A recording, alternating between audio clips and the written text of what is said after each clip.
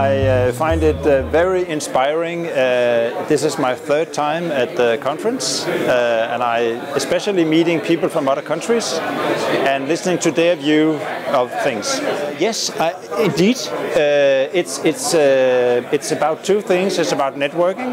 That's probably the most important thing, but it's also about exchanging knowledge and ideas.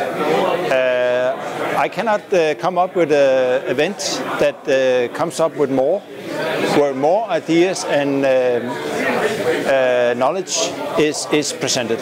I'm confident, and I have experienced it so far, that um, FM will be become a major part, a bigger part of uh, the management of organizations. Um, and I think that um, the use of facilities will be there will be more focus on the use of facilities, not only because of the cost of running facilities, but also because um, I think we have all realized that that's an ex extreme asset we have, and we can use it much better.